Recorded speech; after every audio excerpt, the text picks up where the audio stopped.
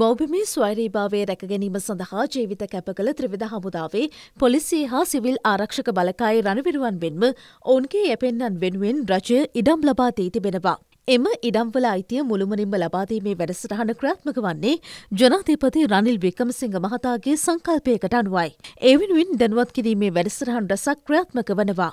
ලබන දාහත්වන්දා සාලියපුර ගජබා රජමේන්තු මුලස්ථානයේද දානම් වන්දා කුර්නෑගල විජේබා රජමේන්තු මුලස්ථානයේදීද විසිතුන් වනදා කළුතර පොලිස් අභ්‍යාස විද්‍යාලයේදීද මෙම වැඩසටහන් ක්‍රියාත්ම කිරීමටයි සැලසුම් කර ඇත්තේ.